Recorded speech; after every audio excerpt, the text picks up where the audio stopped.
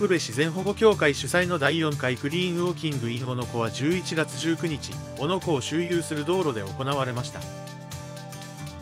会員やボランティアら40人が湖畔の道路を歩きながらポイ捨てや不法投棄されたゴミを収集しました。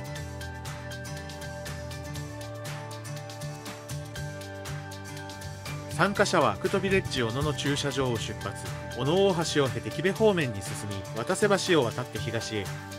アクトビレッジの対岸あたりまで進んで引き返す 6km の道のりを歩きながら瓶や缶ペットボトルなどを拾い不法投棄された大型ゴミは軽トラックの荷台に担ぎ上げました。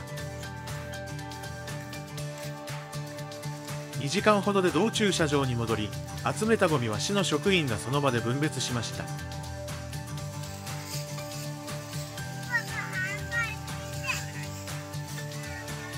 可燃ごみは 20kg 不燃ごみは 60kg ありました。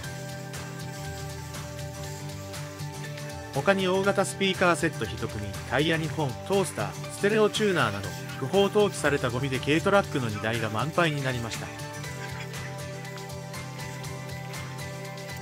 父親と妹と参加した黒岩しゆうくんは授業でボランティアについて学び体験したいと思って参加した瓶や缶がたくさんあって大変だった。ポイ捨てはいけないことがよく分かったと話しました。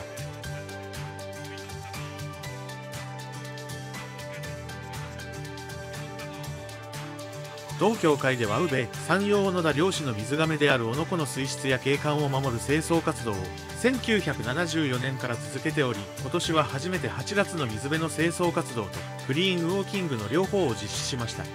村田俊弘事務局長は来年もダブル開催し若者世代を含めて幅広い参加を募っていくと語りました。